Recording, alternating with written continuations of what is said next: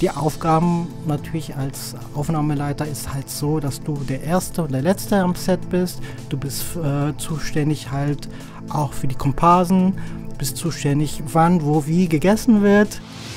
Ja, ich habe diese äh, Produktionsfirma ins Leben gerufen, weil ich auch mehr von meiner Kreativität herausbringen wollte. Und weil, wenn man sowas aufbaut, zeigt auch natürlich, dass man Erfolg haben will und Erfolg kriegt. In Italien bester romantischer Film, in Deutschland halt in Berlin äh, für den besten Kurz-Deutschfilm und in Chicago war es halt der beste Pilot und haben einige andere ähm, zweite und dritte Plätze auch gemacht. Medienwerkstatt Bonn. Hey und ganz herzlich willkommen zu einer neuen Folge von Dein Weg in die Medien. Ich freue mich, dass ihr heute wieder mit dabei seid. Wir blicken heute mal hinter die Kulissen. Wie sieht eigentlich das Leben hinter der Kamera aus? Dazu habe ich Filmproduzent Ronny Bugay heute bei mir im Podcast, damit er mir genau diese Frage beantworten kann. Ich kenne Ronny durch die Medienwerkstatt und genau da sitzen wir heute. Ronny sitzt mir gegenüber und es ist tatsächlich der erster Podcast seit anderthalb Jahren, den ich wieder hier aufnehmen kann. Ronny hat auch schon einige Projekte hier realisiert. Aktuell arbeitet er an einer neuen Reihe Ein Tag im Leben von, wo er spannende Menschen aus Bonn porträtiert und sie einen Tag in ihrem Leben begleitet. Außerdem hat Ronny eine eigene Produktionsfirma und schon mehrere Filmpreise gewonnen. Alleine im letzten Jahr hat er drei internationale Kurzfilmpreise mit nach Hause genommen. Darüber werden wir jetzt natürlich ausführlich im Podcast sprechen. Außerdem geht es um sein Studium in Deutschland und den USA und seine Arbeit bei Sturm der Liebe und Deutschland sucht den Superstar. Bleibt auch unbedingt bis zum Ende dran, denn da gibt es noch einen Rabattcode für Ronnys Workshop im Mai. Hallo Ronny, ich freue mich, dass du heute da bist. Hallo Kira, ja danke, dass ich dabei sein darf. Du bist ja einer der ersten Gäste, der nicht vor der Kamera oder dem Mikro steht, sondern dahinter. Vielleicht kannst du mal erklären, so was machst du eigentlich, beziehungsweise wie sieht so ein typischer Arbeitsalltag bei dir aus? Ja, auf jeden Fall äh, ist es sehr interessant, äh, Kameramann zu sein. Es ist halt so, dass man mit den Regisseuren zusammenarbeitet. Man hat auch die Gelegenheit, äh, vor Ort solche Locations zu sehen und Locations zu suchen mit den Regisseuren und Produzenten oder anderen Produzenten. Und äh, ein Kameramann macht halt die kreative Bildbewegung. Das bedeutet, er ist halt dafür zuständig, dass er halt das Schöne herausbringt von einem Film.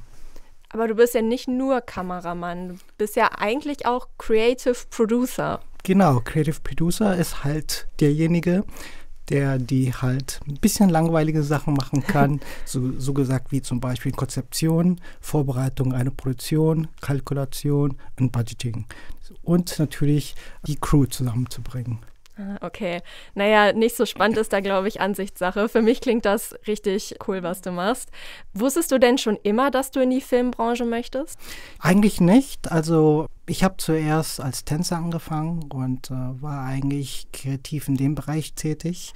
Und wie ich dann mein Studium angefangen habe, war ich auch von der Kunsthochschule zuerst, wo ich äh, dort Animationunterricht genommen habe und wollte halt die Animation als Choreografie umsetzen. Dann haben meine Dozenten gesagt, wieso nimmst du irgendwas nicht Richtung Film? Das würde dir vielleicht auch passen.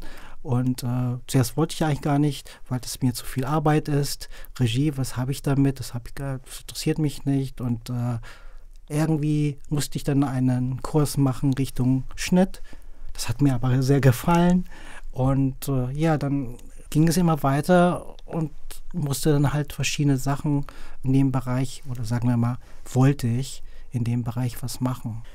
Und wie ging es dann danach weiter? Also du hast dann ja auch noch an dem SAE-Institut in Köln studiert. Wieso hast du dich dann dafür entschieden? Also, warum ich mich dafür entschieden habe, bei der SAE in Köln zu ähm, nochmal ein Studium zu machen, war, war halt, weil ich so einen Lückenfüller brauchte. Das bedeutet, weil du kennst das vielleicht auch. Man muss sich, sagen wir mal so, man muss sich immer weiterentwickeln.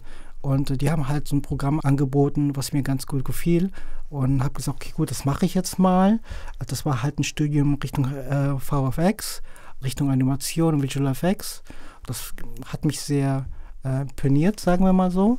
Und habe es dann gemacht und äh, genau, das ging dann halt ungefähr eineinhalb bis zwei Jahre.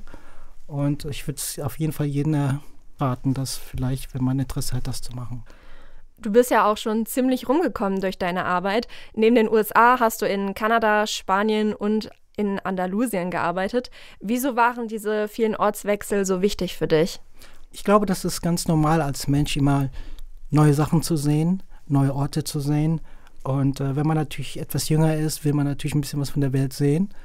Es waren halt Chancen da, die ich einfach angreifen, also nehmen wollte und äh, erfahren wollte. Und äh, in Spanien war es halt so, dass es, es irgendwie nicht richtig mit Film was zu tun hatte, allerdings doch schon ein bisschen.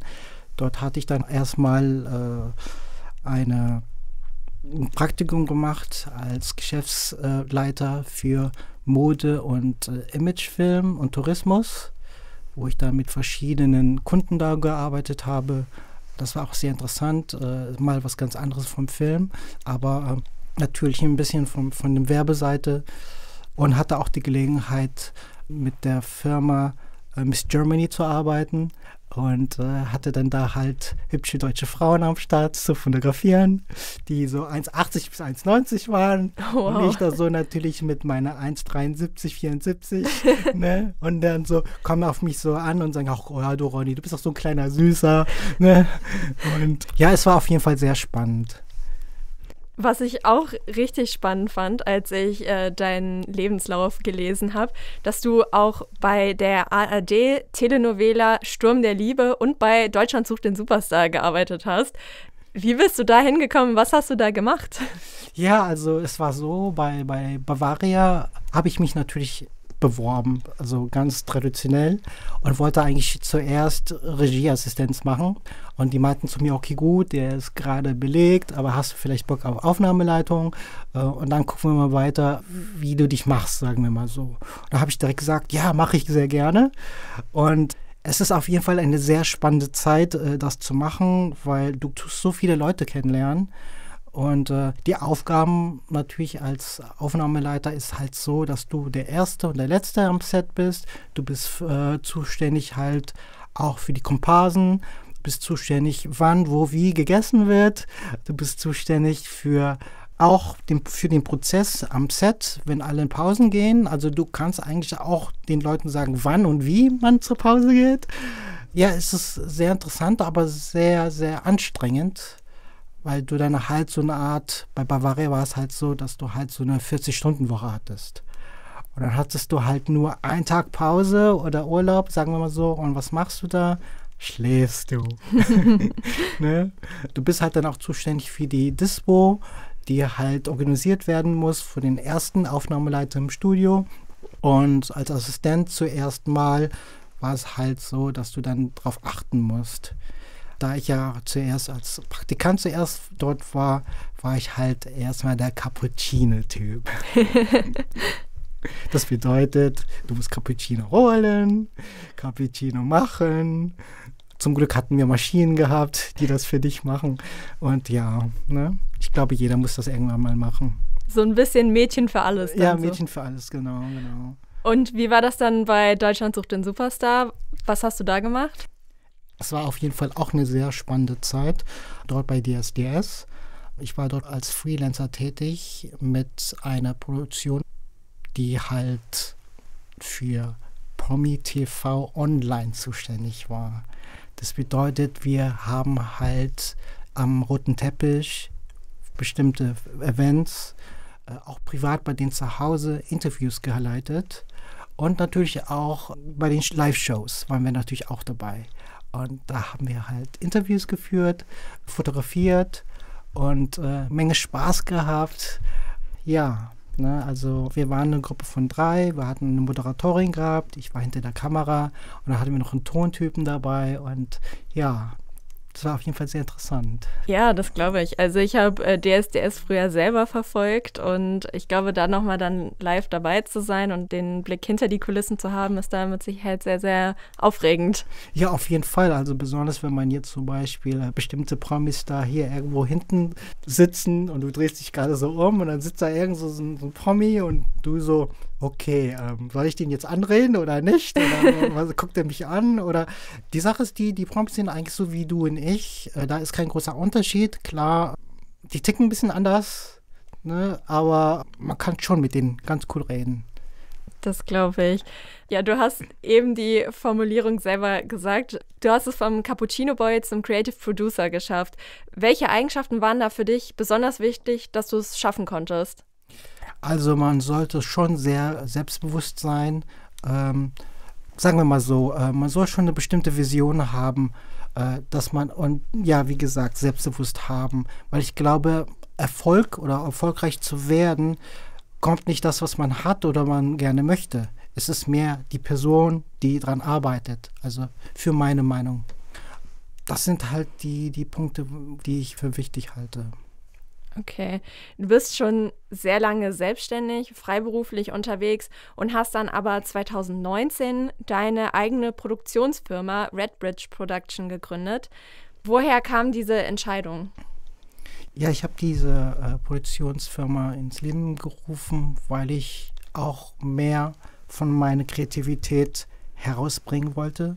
Hört sich ein bisschen Klischee an, aber vielleicht bessere Kunden haben wollte und äh, natürlich eine bestimmte, sagen wir mal, okay, gut, einen bestimmten Status kann man nicht sagen, aber weil, wenn man sowas aufbaut, zeigt auch natürlich, dass man Erfolg haben will und Erfolg kriegt. Man sieht die Firma oder die Person auch ganz anders, als wenn man jetzt freiberuflich irgendwo rumläuft und sagt, hör mal, ich bin Kameramann und äh, hast du Bock, hier irgendwas Kreatives zu machen? Auch hier allerdings, ich nehme 500 Euro. ne, also dann ist schon mal irgendwie schöner, äh, als Produktionsfirma seriöser angesehen zu werden. Und hat sich seitdem irgendwas verändert? Also hast du diese Ziele auch erreichen können, die du dir vorgenommen hattest? Es, die Ziele, ähm, die enden ja eigentlich nie. Ne? Jeder hat, glaube ich, Ziele, die äh, man hat.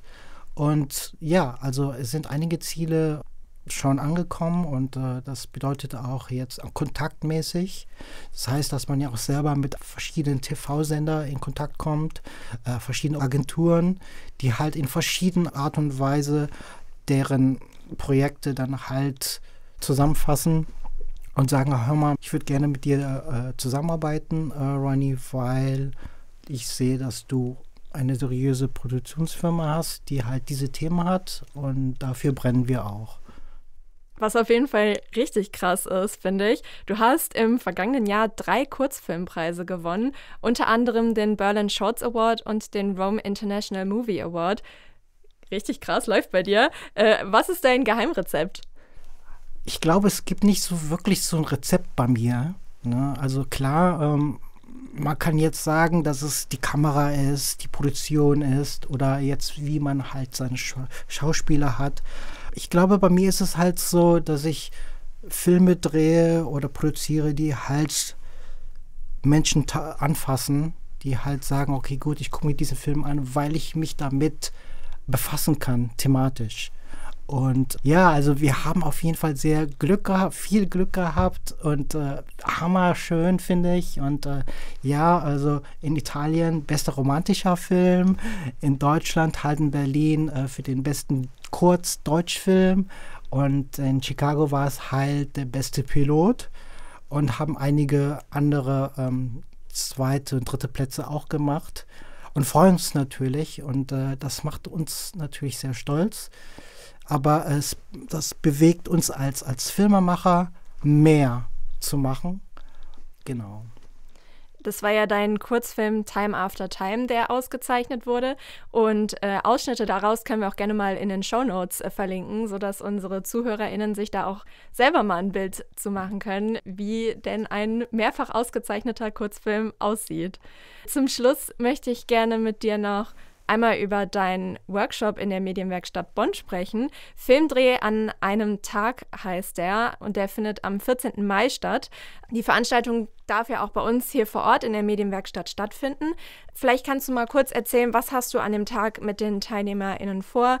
Beziehungsweise ein Filmdreh ist ja auch eigentlich ein relativ großes Vorhaben. Was kann man da alles in einem Tag schaffen? Also gerne würde ich erstmal so eine Runde haben, wo Leute sich erstmal kennenlernen, was sie gerne selber vorhaben in deren Berufsleben, damit ich das ein bisschen so über den Überblick habe. Man kann gerne darüber erzählen, ähm, was eine Produktion beinhaltet, wie der Vorgang ist und was man vielleicht braucht. Ähm, es gibt natürlich auch Unterschiede zwischen einem Kurzfilm, Mittellangfilm und Langfilm. Das werde ich dann auch ein bisschen erzählen. Vielleicht machen wir auch mal so einen ganz kurzen Blick über verschiedene Kameras, die man benutzen darf oder kann. Und dann, wenn wir natürlich noch Zeit haben, was ich hoffe, vielleicht so einen kleinen Dreh zu machen, je nachdem, wie viele Leute natürlich da äh, kommen. Ja, würde ich dann so einen kleinen fünf, zweiminütiger wahrscheinlich dann mit allen zusammen machen. Ja, ich glaube, das wäre so. Es klingt auf jeden Fall richtig cool. Vor allem, wenn man dann auch selber in einer kleinen Gruppe einen, einen, Film produzieren kann, was man ja vielleicht so im Alltag nicht so oft machen kann. Zum Schluss noch, welche drei Tipps möchtest du den NachwuchsmedienmacherInnen mit auf den Weg geben wollen? Drei Tipps. Das ist natürlich sehr, sehr, sehr gut zu formulieren. Naja, schauen wir mal so. Also drei Tipps ist es natürlich so, geh immer nach deinem Gefühl, mit wem du zusammenarbeitest, dass die Person oder die Gruppe äh, deine Vision, deine Kreativität und halt deine Leidenschaft versteht, weil es hart ist, mit Leuten zusammenzuarbeiten, die man halt kaum kennt und wie es immer so ist, sind so viele verschiedene Menschen in so einem Set, dass man halt nicht weiß, mit wem man halt wirklich zu tun hat. Ne? Das ist auf jeden Fall sehr wichtig. Zweitens, setz dich mit den Mediencommittees ein. Also was ich damit meinte ist, äh, mach dich schlau und komm in verschiedene Gruppen rein, ob das Filmgruppen sind, ob das jetzt Networking-Events sind oder ähm, Organisationen. Ne? Also je nachdem, was deine Interessen sind, mach dich dann halt da ein bisschen schlau. Drittens, mach dir ein eigenes Portfolio. Äh, mach dir eine Webseite, mach einen Social Media Account, ob das jetzt Facebook ist, ob das jetzt äh, Twitter ist oder ob das jetzt Instagram ist. Und ähm, ja, ob da oder wenn du gerne so ein Team haben willst, so ein kleines Team, ja, such dir die Kontakte und mach sowas. Ne? Das ist auf jeden Fall sehr, sehr wichtig. Ja, vielen Dank für deine Tipps, lieber Ronny. Und ja, auch vielen Dank für das äh, Gespräch. Es hat mir mega viel Spaß gemacht. Vor allem, dass wir das auch mal hier vor Ort in der Medienwerkstatt wieder führen konnten.